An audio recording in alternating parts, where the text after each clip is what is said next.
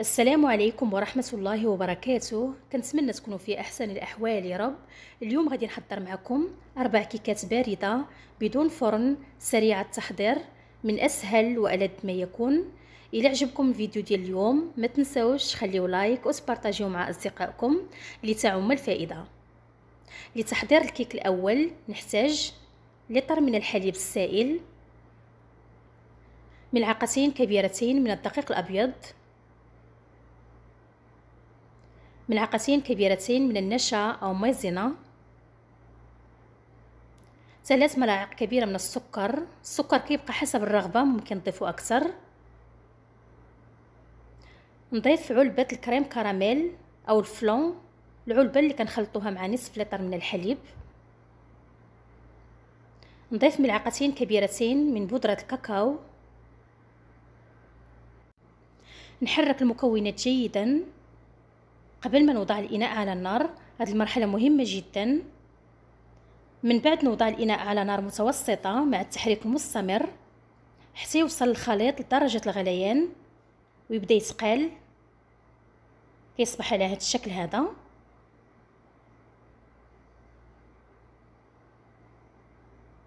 في هذا الأثناء نضيف 100 غرام من الشوكولات أسود. ونحرك المكونات جيدا حتى يذوب الشوكولات ونزول الإناء من على النار. من بعد ندوزو المرحلة الموالية.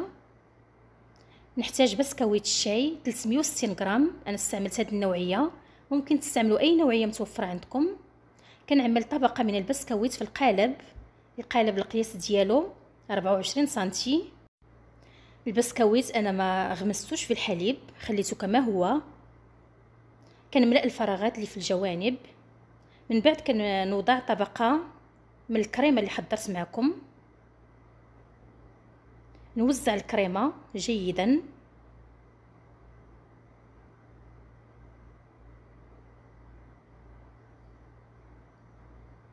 من بعد كنوضع طبقة ثانية من البسكويت فوق الكريمة.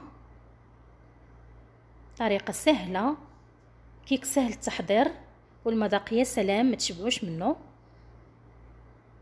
ممكن تحضروه في آخر لحظة ما كياخذش وقت كبير في التحضير. من بعد كنوضع طبقة أخرى من الكريمة كيف كتشوفوا. وكنوضع طبقة من البسكويت كنبقى غادا على هذا الشكل هذا. طبقة من البسكويت وطبقة من الكريمة.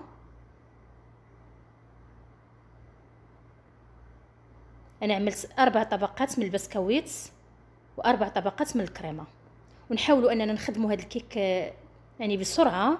باش هذيك الكريمة ما تقالش خصوصا إلا كان الجو بارد. كنعمل الطبقة الأخيرة من البسكويت كيف كتشوفوا؟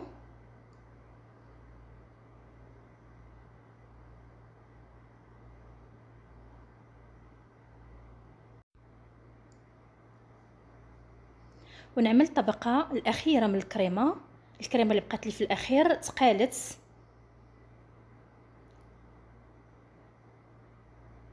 كيف قلت لكم إلا كان الجو بارد لازم نخدموا هذا الكيك بسرعة باش ما تقالش لنا الكريمة.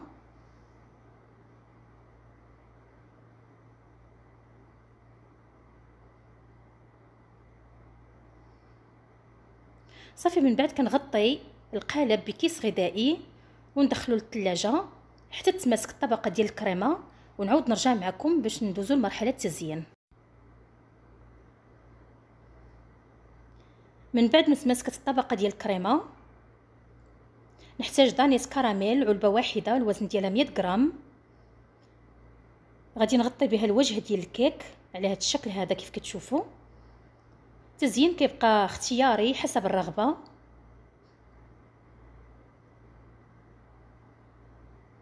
من بعد خديت الشوكولاط أسود مذاب وعملت خطوط على هذا الشكل هذا. أنا غنزينها على شكل رخامي. تزيين سهل وبسيط. خديت كوردون وعملت خطوط. من بعد كنعمل خطوط معاكسة. تزيين سهل لكن في نفس الوقت كيجي الشكل رائع. هذا هو الشكل النهائي ديال الكيك. كيك بارد بدون فرن سريع التحضير. والمذاق يا سلام ما تشبعوش منه. كيك يستحق التجربة. أنا مأكدة إلا جربتوه غادي يعجبكم. لتحضير الكيك الثاني نحتاج ليه نصف لتر من الحليب السائل ملعقتين كبيرتين من السكر ملعقتين كبيرتين من النشا أو مايزينا الفانيليا أو السكر الفاني كيس واحد فقط أو ملعقة صغيرة علبة من الكاكاو الحلو الوزن ديالها 100 غرام نحرك المكونات جيدا قبل ما نوضع الإناء على النار. من بعد نوضع الإناء على النار متوسطة مع التحريك المستمر حتى يوصل الخليط لدرجة الغليان ويبدأ يتقال في هذا الأثناء نضيف 150 غرام من الشوكولات أسود. نحرك المكونات حتى يذوب الشوكولات من بعد نضيف ملعقة من الزبدة. الزبدة كتعطي لمعان لهاد الكريمة. صافي غادي نطفي عليه النار ونزول الإناء من على النار. ندوزو المرحله المواليه نحتاج فيها بسكويت الشاي. أنا غنستعمل هاد النوعين. ما يعادل 300 غرام. ونحتاج هاد القالب اللي كيتفتح من الجوانب. من بعد كناخذ البسكويت وكنعمل فيه القليل من الكريمة اللي حضرت معكم.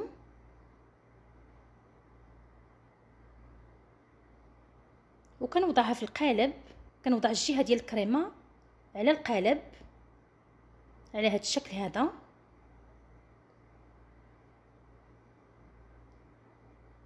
كيف شفتوا أنا استعملت نوعين من البسكويت بسكويت العادي والبسكويت بالشوكولات أو البسكويت البني. كنبقى غادا بهذه الطريقة.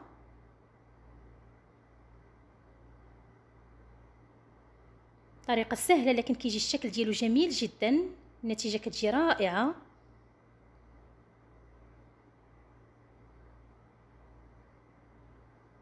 نستمر بنفس الطريقة حتى نكمل الكمية. اللي عندي كاملة ديال البسكويت نوضع عليها الكريمة ونوضعها في القالب ونعاود نرجع معكم.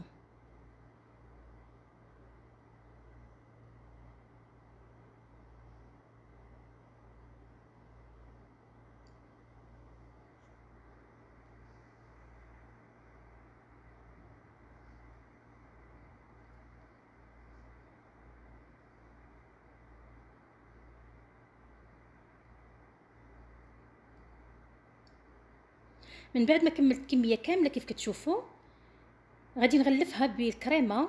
نغلف هذا البسكويت كامل من الجوانب ومن الفوق بالكريمة.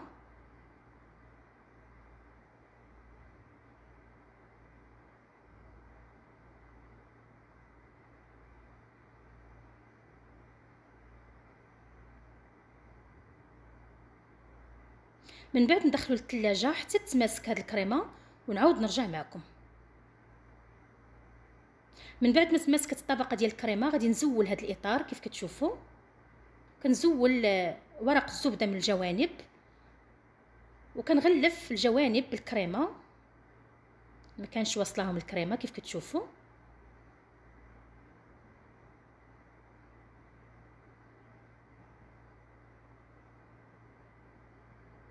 من بعد غادي نقطعوا على هذا الشكل هذا شكل مائل.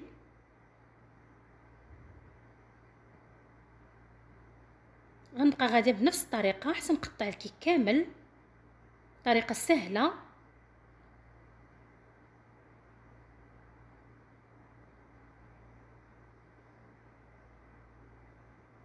هذا هو الشكل اللي حصلنا عليه. من بعد ما قطعت الكيك كيجي الشكل ديالو جميل جدا. وزينته بالفستق أو ال pistache. هذا هو الشكل النهائي ديال الكيك. كيجي الشكل ديالو جميل جدا. شكل راقي والمذاق يا سلام. كيك من ألذ ما يكون.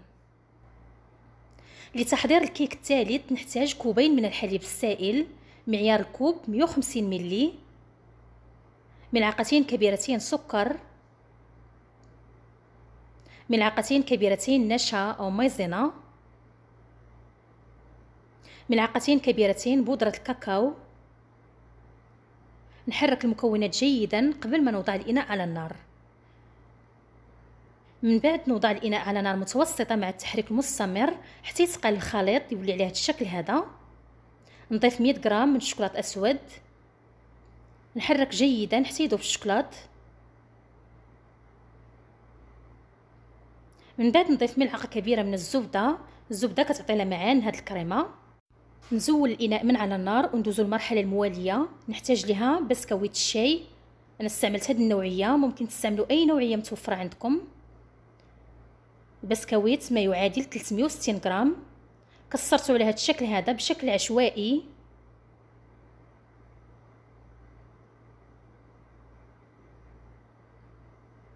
من بعد كنصب الخليط اللي حضرت معكم من قبل فوق البسكويت. كنحاول أنني نلبس هاد البسكويت كامل بالكريمة.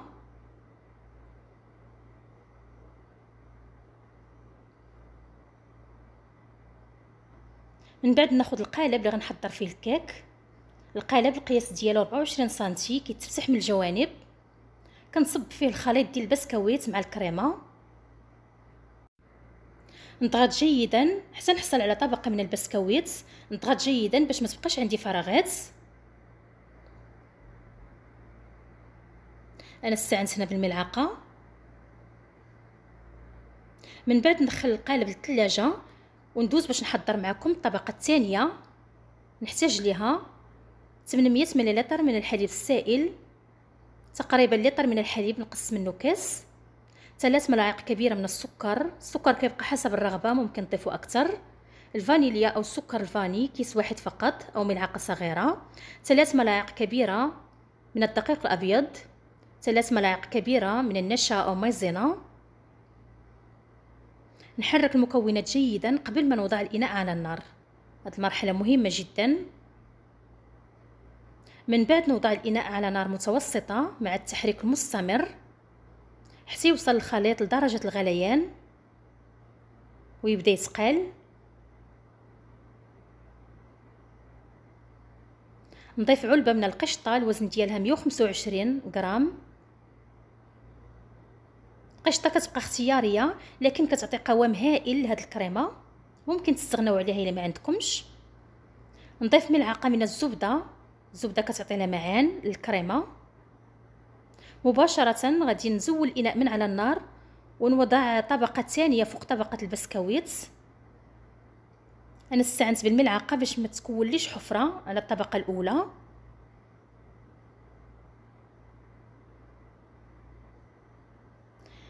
غادي نوضع الإناء جانبا حتى تماسك الطبقة الثانية. ممكن ندخلوه للثلاجة وندوزو باش نحضروا الطبقة الأخيرة أو الكاناج نحتاج ليه 250 غرام من الكريمة السائلة 250 غرام من الشوكولاط اسود وضعتهم على نار متوسطة مع التحريك المستمر. حتى يذوب الشوكولاط من بعد ما ذاب الشوكولاط نضيف ملعقة من الزبدة.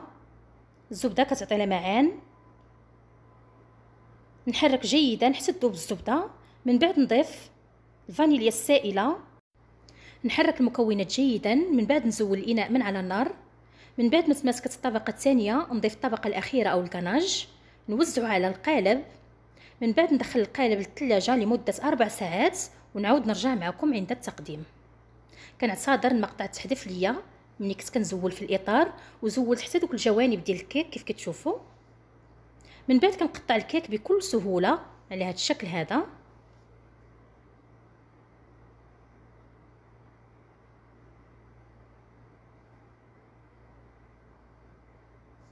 كنزينو من الفوق التزيين كيبقى اختياري. أنا زينته ببسكويت اللي كسرته على هذا الشكل هذا. هذا هو الشكل النهائي ديال الكيك. كيك رائع من ألذ ما يكون. المذاق يا سلام ما تشبعوش منه.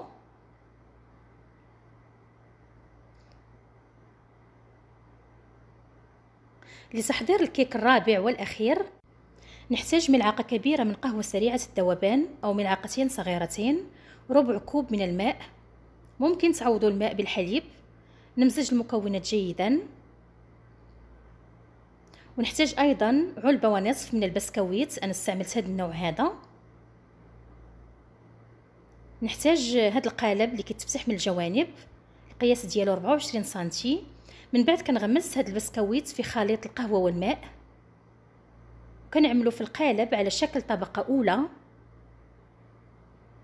أنا استعملت هذا النوع هذا ديال البسكويت ممكن تستعملوا أي نوع متوفر عندكم.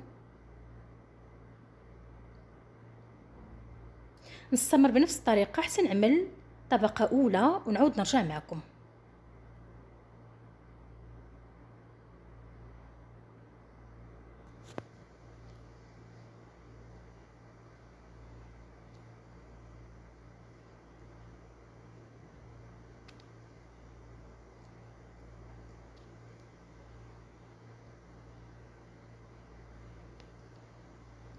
من بعد ما عملت الطبقة الأولى هذاك الخليط ديال القهوة والماء عملته فوق البسكويت على هذا الشكل هذا.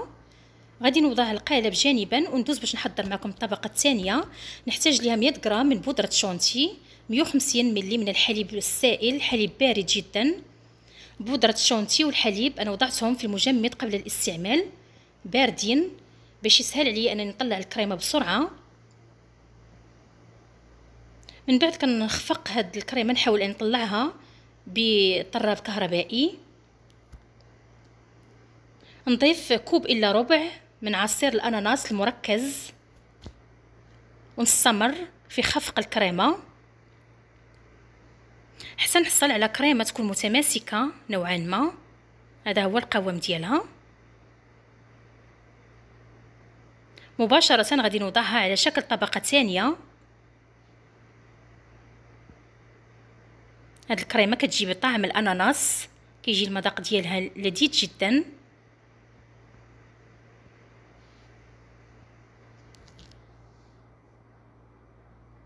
نوزع الكريمة على هذا الشكل هذا بشكل متساوي.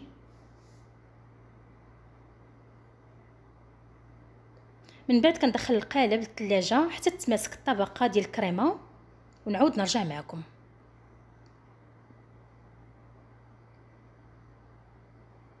من بعد ما تماسكت الطبقة ديال الكريمة غادي نزول الكيك من القالب. أنا استعنت بهذا السكين من الجوانب.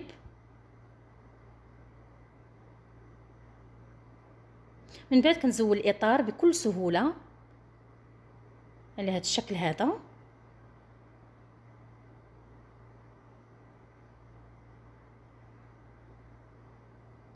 وغادي ندوزو لمرحلة التزيين. أنا غادي نزين بقطع الأناناس أو دوائر الأناناس على هذا الشكل هذا.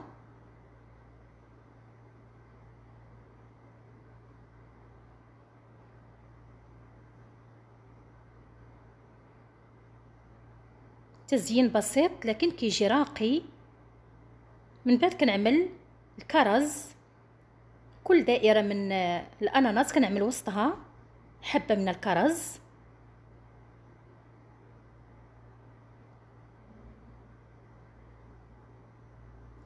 هذا هو الشكل النهائي ديال الكيك. كيف كتشوفوا؟ غادي نقطع لكم قطعة باش تشوفوا الشكل ديال الكيك كيف عامل من الداخل.